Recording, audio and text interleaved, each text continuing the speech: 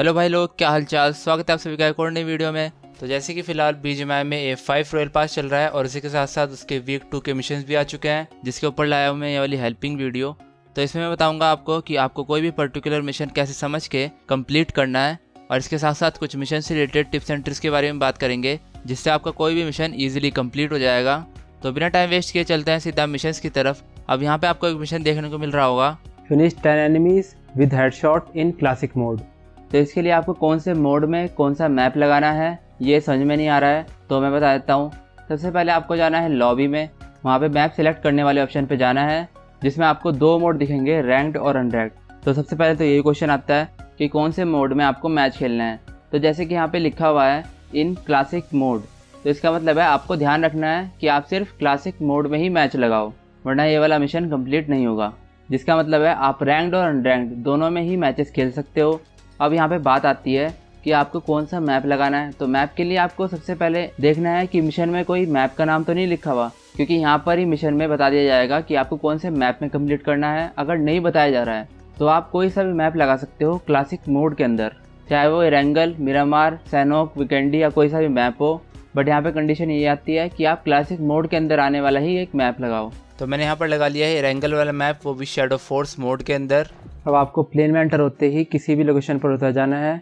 जैसे मैं यहाँ पर हॉट ड्रॉप कर रहा हूँ तो ज़रूरी नहीं है कि आप भी हॉट ड्रॉप करो। आप सेफ़ लोकेशन पर उतर के भी ये मिशन कंप्लीट कर सकते हो। बस आपको क्या करना है, उतरते ही जल्दी से गन ले लेनी है और फिर आपको गाड़ी से बॉट्स ढूँढने हैं। तो बॉट्स आपको गेम की शुरुआत में इजीली वैसे ही मिल जाएँगे और फिर इनको हेड का डैमेज देना है और फिनिश भी वैसे ही करना है, जैसे कि मिशन में लिखा हुआ है। और जब आप किसी भी बॉट या फिर एनिमी को किल करो तो किल फ़ीड पे कुछ ऐसा साइन आना चाहिए टारगेट वाला, या फिर फिनिश्ड बाय हेडशॉट करके ऐसा कुछ आना चाहिए, तभी आपका ये किल इस वाले मिशन के लिए माना जाएगा। और अगर आप नॉर्मली खेल के मिशन पूरा कर रहे हैं तो आपको ट्राई करना है कि आप एनिमी के हेड पे एम रखो, जिससे कि वो नॉक भी हेडशॉट से हो और फिर फिनिश करते टाइम ज़्यादा ध्यान रखो कि उसके हेड पे ही एम रखना है। क्योंकि नॉक तो आप बॉडी डैमेज से भी कर दोगे, चलेगा। बट अगर आपने फिनिश कर दिया बॉडी डैमेज दे करके तो आपका वो किल काउंट नहीं होगा मिशन में। इसलिए आपको किसी को भी फिनिश करते टाइम हेड पे ही एम रखना है, जिससे कि हेडशॉट वाला ही किल आए। और जैसे कि मिशन में लिखा हुआ है, ऐसे करके आपको टोटल दस किल करना है। और ये ज़रूरी नहीं है कि आप ये सिंगल मैच में करो। आपको ये दो तीन मैच में भी ट्राई कर सकते हो, या फिर चार पाँच मैच में, या फिर जितने मैच चाहो उतने में मिशन कंप्लीट कर सकते हो आप।